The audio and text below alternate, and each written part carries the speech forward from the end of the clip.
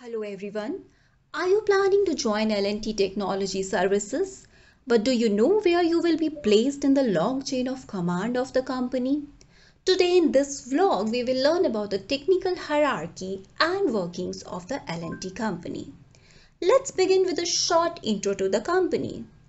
L&T refers to Larsen and Toubro, the name of the two Danish engineers who founded the company in 1938 in Mumbai, India.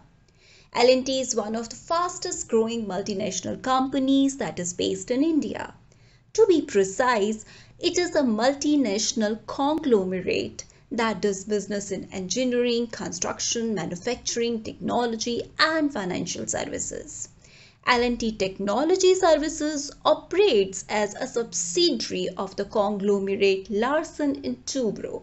It is an engineering services company based in Vadodara, Gujarat and has an employee strength of more than 19,000 as per 2020 statistics. Coming back to the crux that is the technical hierarchy. There is no defined band system. However, the designations are named as LTTS1 to LTTS10. Here is how it goes. If you are joining the company with a diploma in computer engineering, then you will be hired as an associate engineer or LTTS1. You will be assisting the engineers and senior engineers in their work, thereby learning and adapting to the working environment of the company.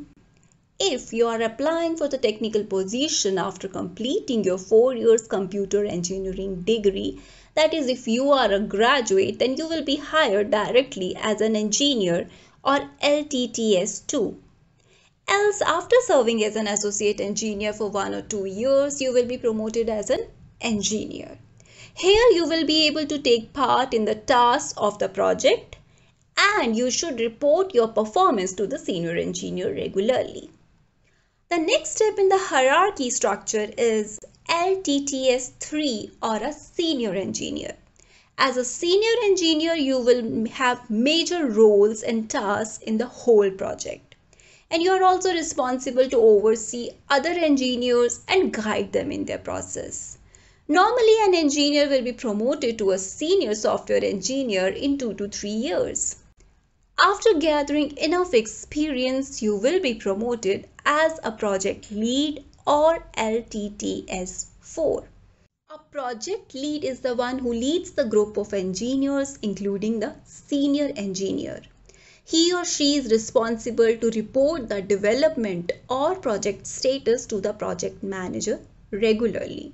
So, obviously, the next step in the ladder is a project manager or LTTS5.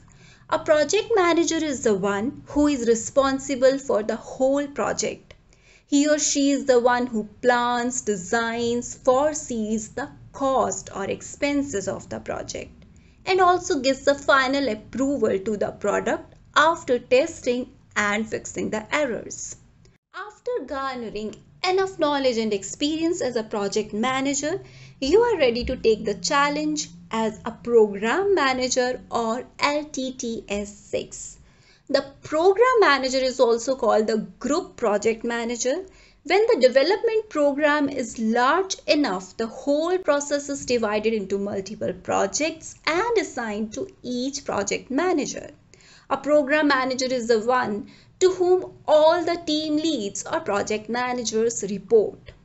As a seasoned program manager, you are ready to take the role of a delivery manager or LTTS 7.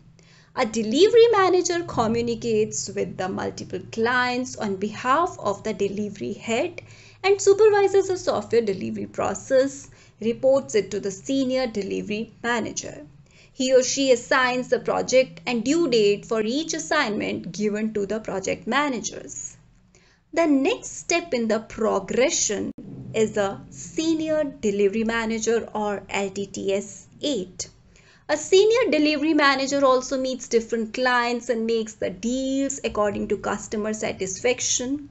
He also takes the finished product to the delivery head for delivery approval to the client. As a senior delivery manager, You should have good communication and cooperative skills to make deals and contracts. After all these years of seasoning and hard work, one deserves the position of a delivery head or LTTS 9.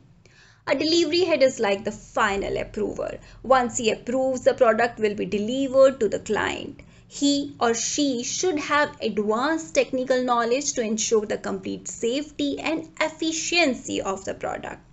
The foremost position in the technical hierarchy is a director or LTTS 10.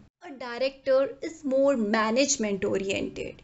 He or she is like a department head who only oversees the overall performance of the technical department.